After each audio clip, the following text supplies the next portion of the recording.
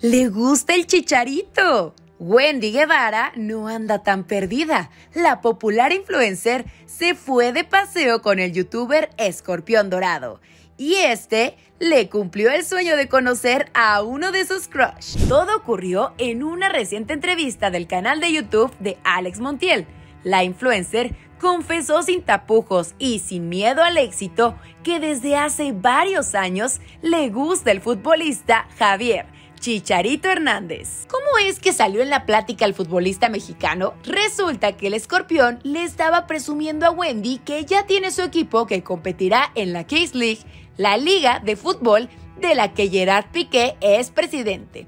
Alex, muy emocionado, le contó que Javier es uno de los jugadores que estará en su equipo y que Wendy se descose y que le comience a chulear las piernas a Chicharo Hernández. Así, sin más amigos, Guevara detalló cómo se derretía por el futbolista. Oye, y el chicharito, si está bonito. Ay, siempre me gustó el chicharito, siempre me gustó. En serio, yo cuando estaba más chica me gustaba el chicharito bastante. Pero eso no fue todo. Con teléfono en mano, el escorpión le marcó de inmediato a Javier para que Wendy le dijera en su cara lo mucho que le gusta mediante una videollamada.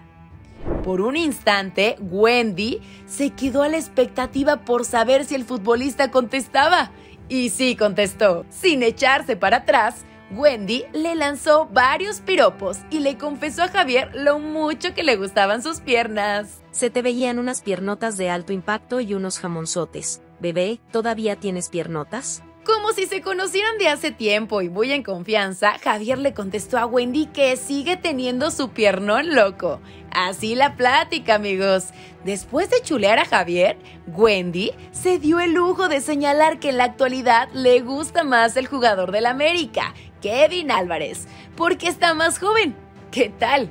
Eso sí, Wendy recalcó que Javier aún se sigue viendo muy bien por lo pronto, el escorpión invitó a Wendy a jugar en su equipo de fútbol y los internautas quedaron tan encantados con la entrevista que ya están pidiendo una segunda parte. ¿Crees que Wendy acepte jugar en el equipo del escorpión? ¿Habrá segunda parte de la entrevista?